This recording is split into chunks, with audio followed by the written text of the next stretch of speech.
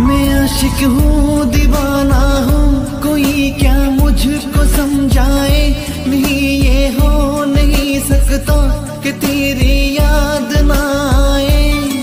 तुझे भूलने से पहले मेरी जान चली जाए। तुझे भूल